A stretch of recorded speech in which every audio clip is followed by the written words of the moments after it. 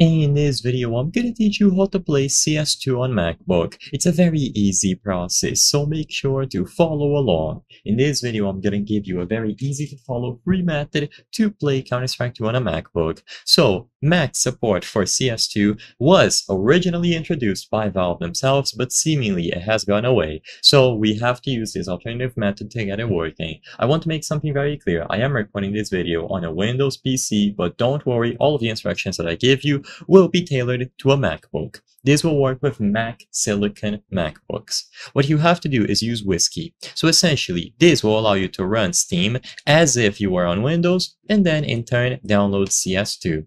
You can find Whisky available for free at getwhisky.app. So open your web browser of choice, go over to this website, and then download it from here. Once you have downloaded Whisky, you will run it, and usually there will be this pop-up about dependencies. Make sure that both of these are installed, Rosetta and WhiskyWine. This will appear that on the first time that you run Whisky, you simply have to choose the install options, then click Done once you are all set up. Now, you will have to set up Steam inside of Whisky. To do this, go over to the Steam website, choose the option to install Steam, and instead of downloading the option for Mac, you actually download the Windows executable. Now, of course, this isn't going to work natively on your Mac, but the reason why you want the Windows version is because we're going to be running it from Whisky. So now, click a new bottle, essentially a new folder or tab where you will be running Steam. So click this plus sign. So when you click the plus sign to create a new bottle, you will see this message. You can name it whatever you wish, it doesn't matter. You can name it Steam, you can name it CS2.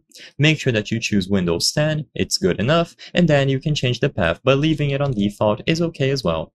Now, once you create the bottle, you can go ahead and use the run function. So within Whisky, click run, and then open the Steam executable for Windows. So essentially, you will be running the Windows version on Steam through Whisky.